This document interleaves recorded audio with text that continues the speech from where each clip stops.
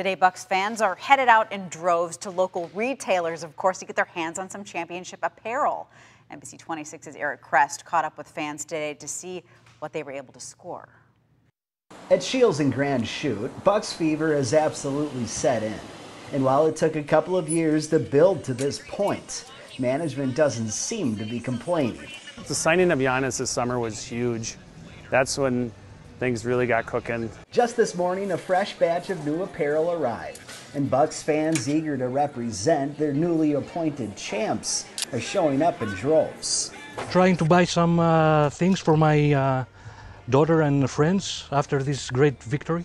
I'm guessing it's going to be a little hard because everybody's going to have the fever kind of like I do, but I'll find something. Today I picked up the earned shirt, earned jersey, because I mean, we did it without a super team. We earned this one.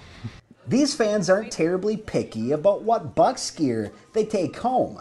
Most are just ready to represent after so many thought it wasn't possible. I liked it because it's kind of the underdog. Milwaukee's not a big city. We're not Los Angeles. We're not New York.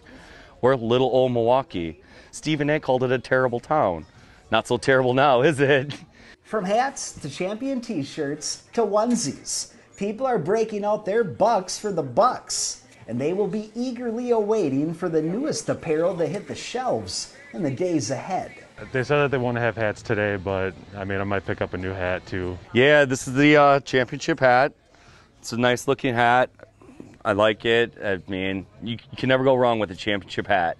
So if you weren't fortunate enough to visit the Deer District Tuesday night and score some of the exclusive swag, just remember patience is a virtue that Bucks fans know all too much about. It's a great feeling, 50 years in the making. Um, it's awesome for the Bucks and the organization and for the fans.